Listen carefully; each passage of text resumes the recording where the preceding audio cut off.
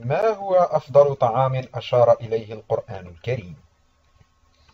ذكر الله تعالى في القرآن العديد من الأمور الحياتية كالأحكام الشرعية والأمور التي يجب على المسلم الالتزام بها كما ذكر بعضا من نواحي الحياة. فمثلا ذكر في بعض الآيات الكريمة ما هو أفضل طعام للإنسان فيا ترى ما هو هذا الطعام؟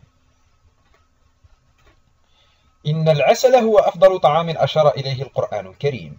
حيث ذكر الله تعالى في كتابه الحكيم العديد من الأطعمة المفيدة للبشر وتساعدهم على تحسين حياتهم.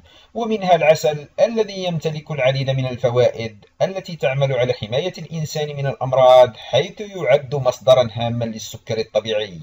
وبذلك يمكن الاستغناء الإنسان عن السكر الصناعي بالإضافة إلى أن العسل يحتوي على العديد من الفيتامينات منها مجموعة فيتامين بي ويعتبر ورود ذكر العسل في القرآن دليلا على حكمة الله تعالى.